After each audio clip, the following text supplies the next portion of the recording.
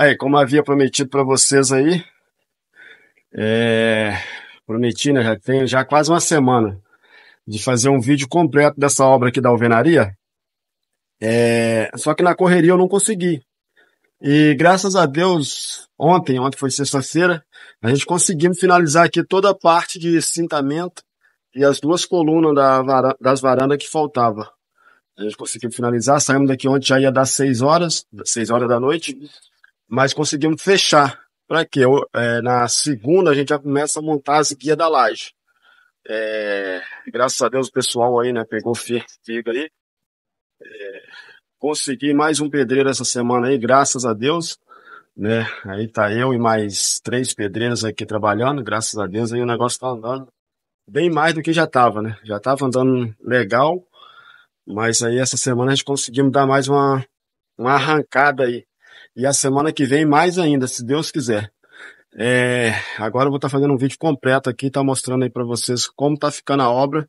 E vocês comentam aí se tá ficando boa, se não tá.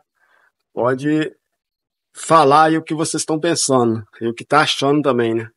Se tiver boa, pode dar os parabéns. Se tiver alguma coisa a ajustar também, tô aberto à crítica aí, né? Aí, isso aqui é a parte da frente, né? É... Frente que vai ficar realmente para a rua, né? Porque às vezes a gente faz a casa de lado, é a frente da casa, mas não é a frente que vai ficar para a rua. Essa aqui literalmente vai ficar para a rua. É, filmar primeiro essa lateral aqui para vocês aqui, ó. Acho que é a lateral mais extensa da casa. Ah, não, é a outra que é a mais extensa. Mas essa aqui é uma lateral também bem extensa, onde vai ficar os três quartos ficar posicionado aqui.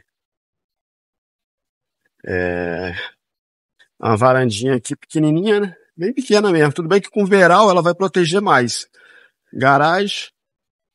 Já tá o paredão da garagem já tá levantado aí. Aí o cintamento, ó. Essa colunazinha aqui que deu um pouquinho de trabalho pra gente montar ela, né? Tinha que ser uma coluna bem travada, uma forma. Mas tá aí, graças a Deus, executada, cheia, tudo no jeito. Aqui a parte da sala. A sala o cliente deixou aí bem ventilada, né? É, com uma janela grande e quatro janelinhas aí, né? Esqueci o nome, fugiu da mente. É tanta coisa que acaba fugindo. Mas ficou bem ventilada a sala.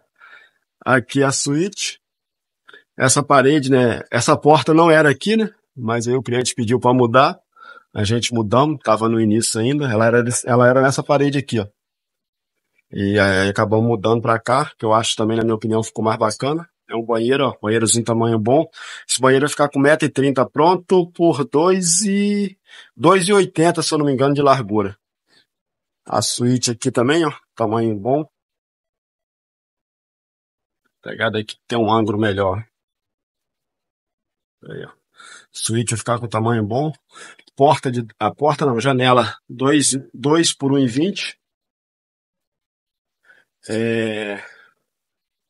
Aqui, ó, queria falar.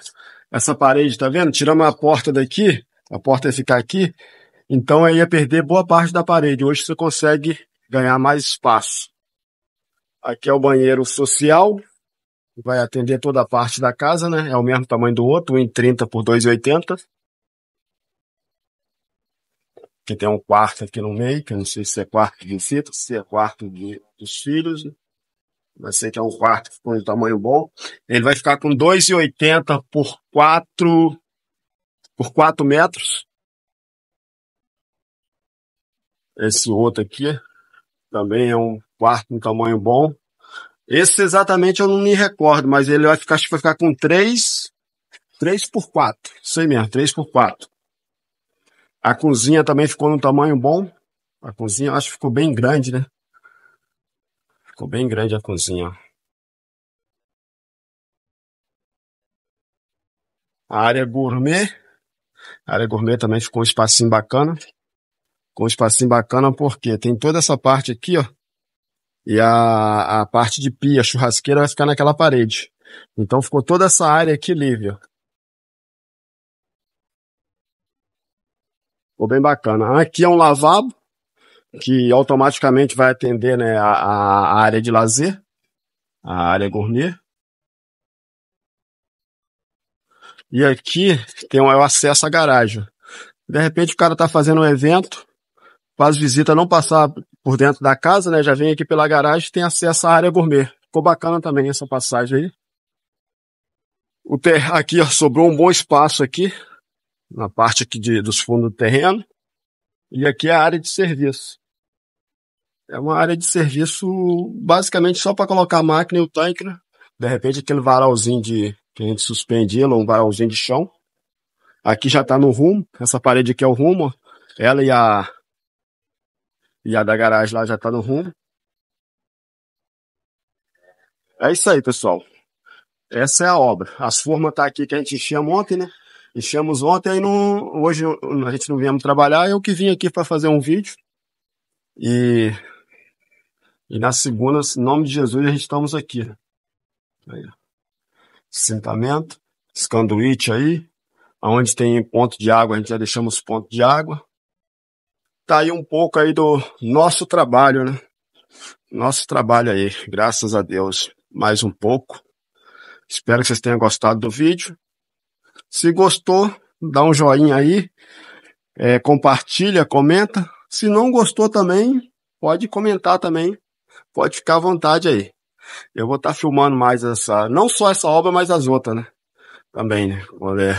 Na correria. E como eu fiquei mais nessa, acabei filmando mais essa.